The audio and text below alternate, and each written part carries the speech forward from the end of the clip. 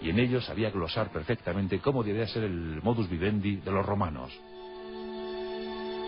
Un hombre, como os digo, osco, un hombre difícil, de un carácter impenetrable, pero eso sí, nadie le pudo jamás reprochar que no amara a su querida Roma, que no valorara la raíz del espíritu romano. Intuyó que de seguir así las cosas, tarde o temprano, Roma sería aplastada, aplastada por los extranjeros. ¿Acaso fue el primero en intuir que los bárbaros, llegados desde el norte, podrían algún día barrer del mapa a su eterna Roma?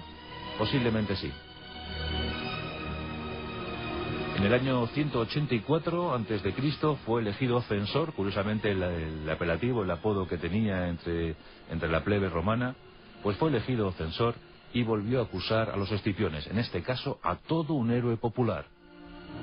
Me refiero a Escipión el Africano, a Publio Cornelio Escipión el Africano, el héroe de Zama, el vencedor de Aníbal, el gran protagonista de la Segunda Guerra Púnica.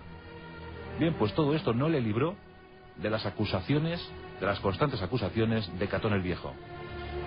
Y es que al parecer Escipión el, el Africano había abusado de la confianza de los romanos y había metido la mano en la caja de alguna expedición en Oriente. Catón investigó, demostró y pudo acusar públicamente a Escipión el Africano de malversador de fondos.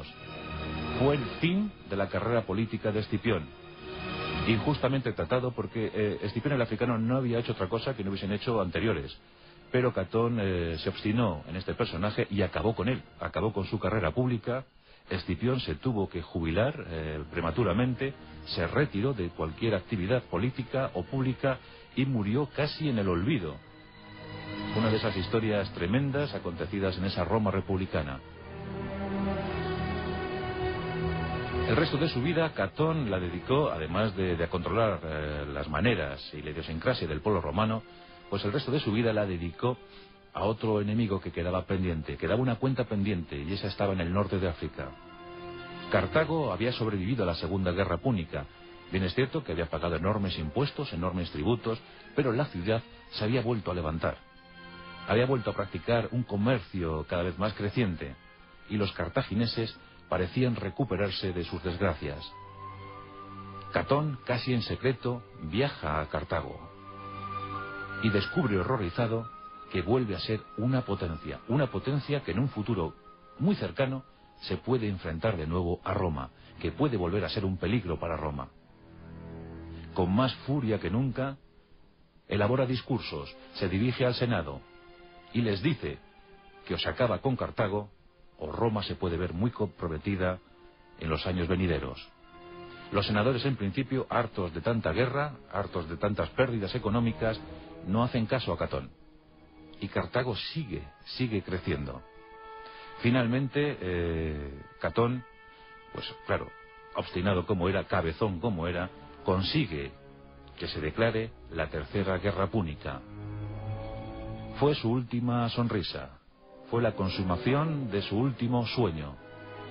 En el año 149 a.C., las tropas romanas someten a sitio a la ciudad de Cartago.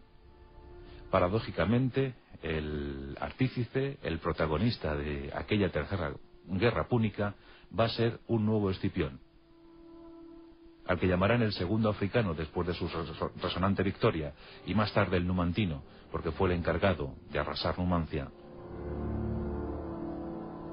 Catón eh, fallece a los 85 años de edad, sabiendo que Cartago va a ser destruida hasta sus cimientos y que va a ser cubierta por la sal. En el año 146 a.C., Cartago pasa al olvido. Es destruida hasta los cimientos